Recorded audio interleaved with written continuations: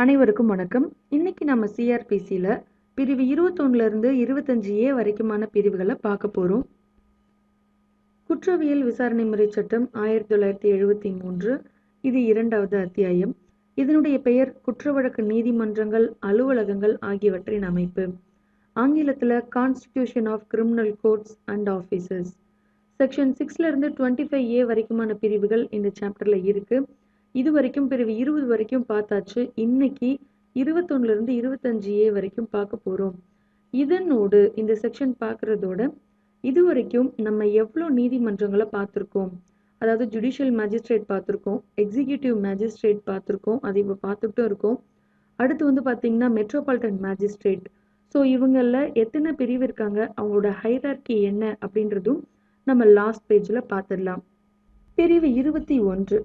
Special executive magistrates நிர்வாகத்துறை சிறப்பு நடுவர்கள்.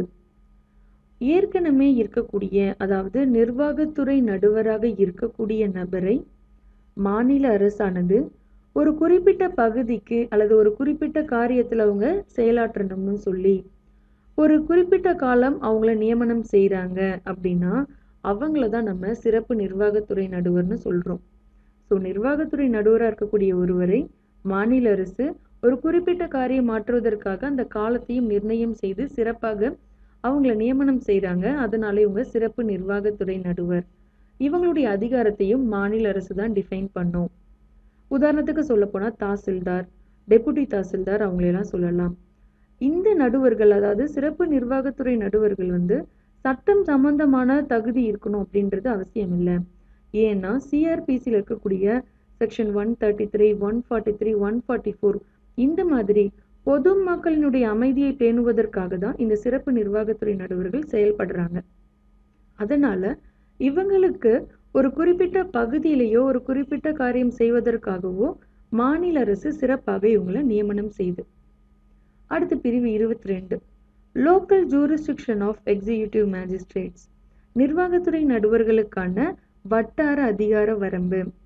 முதல் சப்செக்ஷன்ல சொல்றாங்க மாவட்ட நடுவர் தான் இந்த நிர்வாகத்துறை நடுவர்களுக்கான வட்டார எல்லைகளை வரையறை செய்வார். அது மாநில அரசுக்கு உட்பட்டு இருக்கணும் அவங்களுடைய கட்டுப்பாட்டுக்கு உட்பட்டு இருக்கணும். அதே மாதிரி இந்த டிஸ்ட்ரிக்ட் மேஜிஸ்ட்ரேட்டுக்கு இந்த சட்டம் சிஆர்பிசி சொல்லக்கூடிய அதிகாரத்துக்கு உட்பட்டு தான் அவர் இந்த வட்டார எல்லைகளை அவர் வரையறை செய்யணும். ரெண்டாவது சப்செக்ஷன் ஒருவேளை இந்த மாதிரியான விஷயங்கள்ல இவன் இந்த நிர்வாகத்துறை நடுவருக்கு இதுதான் அதிகார வரம்புன்னு வரையறை செய்யப்படவில்லை அப்படின்னா அப்போ அவர் எங்க நிர்வாகத்துறை நடுவராக இருக்காரோ அந்த மாவட்டம் முழுவதுமே அவருடைய அதிகாரமும் அதிகார வரம்பும் அளாவி நிற்கும். பிரிவு இருபத்தி மூன்று சபார்டினேஷன் ஆஃப் எக்ஸிக்யூட்டிவ் மேஜிஸ்ட்ரேட்ஸ் நிர்வாகத்துறை நடுவர்கள் கீழ்ப்பட்டிருத்தல். முதல் சப்செக்ஷன்ல நிர்வாகத்துறை நடுவர்கள் அனைவருக்கும். ஆனால் கூடுதல் நிர்வாகத்துறை நடுவர் அல்லாத.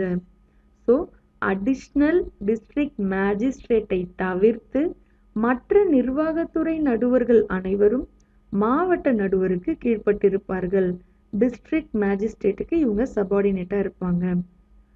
அதே மாதிரியே உட்கோட்டு பகுதியில் அதாவது நம்ம பார்த்துருக்கோம் சப்டிவிஷனல் போன கிளாஸில் சப்டிவிஷனல் மேஜிஸ்ட்ரேட் பார்த்துருக்கோம். ஸோ அந்த இடத்துல இருக்கக்கூடிய மற்ற எக்ஸிக்யூட்டிவ் மேஜிஸ்ட்ரேட் நிர்வாகத்துறை நடுவர்கள் இருக்காங்கன்னா அவங்க இந்த சப்டிவிஷனல் மேஜிஸ்ட்ரேட்டுக்கு கீழ்பட்டு இருப்பார்கள் அது மாவட்ட நடுவரின் கட்டுப்பாட்டுக்கு உட்பட்டு தான் இருக்கும். ஏன்னா மாவட்ட நடுவர் தான் அனைவருக்குமே இந்த இடத்துல எக்ஸிக்யூட்டிவ் மேஜிஸ்ட்ரேட்டுக்கு மாவட்ட நடுவர் தான் அவங்களுடைய ஹைரார்கி தான் பெருசு. ஸோ உட்கோட்ட நடுவர் மாவட்ட நடுவரின் கட்டுப்பாட்டுக்கு உட்பட்டு அந்த உட்கோட்டத்தில் சப்டிவிஷனில் இருக்கக்கூடிய மற்ற நிர்வாகத்துறை நடுவர்கள் இவருக்கு கீழ்ப்பட்டிருப்பாங்க. சப்டிவிஷனல் மேஜிஸ்ட்ரேட்டுக்கு கீழ்ப்பட்டிருப்பாங்க. ரெண்டாவது சப்செக்ஷன் மாவட்ட நடுவர் இப்போ நம்ம பார்த்தோம் இல்லையா நிர்வாகத்துறை நடுவர்கள் இருக்காங்கன்னு அந்த நிர்வாகத்துறை நடுவர்களுக்கான அலுவலை பகிர்ந்து கொடுப்பதற்கு விதிகள் செய்யலாம் சிறப்பு ஆணை கட்டளை பிறப்பிக்கலாம். இதில் அலுவல் பகிர்வுன்னு சொல்லியிருக்காங்க. டிஸ்ட்ரிபியூஷன் ஆஃப் பிஸ்னஸ் ஸோ மற்ற நிர்வாகத்துறை நடுவருக்கு டிஸ்ட்ரிபியூட் பண்ணலாம். அவங்களுடைய வேலைகள் என்ன அப்படின்றத. அது செய்கிறதுக்கு விதியோ சிறப்பு ஆணையோ மாவட்ட நடுவர் வந்து பிறப்பிக்கலாம். அதே மாதிரி இப்போ கூடுதல் நிர்வாகத்துறை நடுவர்னு வரும்போது அலோகேஷன் ஆஃப் பிஸ்னஸ் அவர் என்ன அலுவல்களை செய்யலாம் என்று பிரித்து கொடுக்கலாம் அப்படின்னு சொல்கிறாங்க ஸோ மற்ற நிர்வாகத்துறை நடுவர்களுக்கான அலுவல் பகிர்வு. கூடுதல் நிர்வாகத்துறை நடுவர் அவருக்கான அலுவலை பிரித்து கொடுப்பதற்கு மாவட்ட நடுவரானவர் விதிகள் இயற்றலாம் சிறப்பு ஆணை பிறப்பிக்கலாம். வணக்கம் நண்பர்களே. இந்த வீடியோவோட முழு பதிவு உங்களுக்கு வேணும்னா நீங்கள் டிஎன்பிஎஸ்சி ஸ்பாட் டாட் காம் அப்படின்ற வெப்சைட்டில் போயிட்டு லாலிட் தமிழ் அப்படின்ற ஒரு ரெஜிஸ்ட்ரேஷன் ஃபார்மில் போய் ரெஜிஸ்டர் பண்ணணும். ஸோ ரெஜிஸ்ட்ரேஷன் பண்ணுறதுக்கு உங்களுக்கு தௌசண்ட் ருபீஸ் சார்ஜஸ் ஆகும்.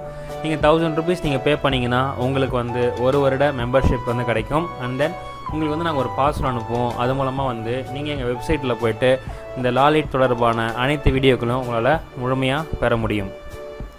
ஸோ இந்த ரூபாய் வந்து பார்த்திங்கன்னா ஒரு பெரிய தொகை மாதிரி தான் இருக்கும். ஆனால் வருடத்திற்கு உங்களுக்கு ஆயிரரூவான்னும் போது ஒரு மாதத்துக்கு நீங்கள் எண்பத்தஞ்சு ரூபா தான் நீங்கள் ஸ்பெண்ட் பண்ணுறீங்க ஸோ வாரத்துக்கு உங்களுக்கு மூன்று வீடியோக்கள் கிடைக்கும். இது மூலமாக வந்து நீங்கள் சட்டத்தை வந்து முழுமையாக தெரிஞ்சுக்கலாம் முழுமையாக தெரிஞ்சு பயனடையலாம். இந்த வீடியோ பார்த்தமைக்கு மிக்க நன்றி. இந்த வீடியோ பிடிச்சிருந்தா ஷேர் பண்ணுங்கள் சப்ஸ்கிரைப் பண்ணுங்கள் லைக் பண்ணுங்கள் உங்கள் நண்பர்களுக்குமே வந்து ஷேர் பண்ணுங்கள் ஸோ அவங்களும் வந்து சட்டத்தை வந்து எளிதாக கற்றுக்கிறதுக்கு இது ரொம்ப உதவியாக இருக்கும். இங்கே இருக்க நம்ம ஃபேஸ்புக் ஐடியை வந்து ஃப்ரெண்ட் ரெக்வஸ்ட் விடுங்க எப்போவுமே சந்தோஷமாக இருங்க.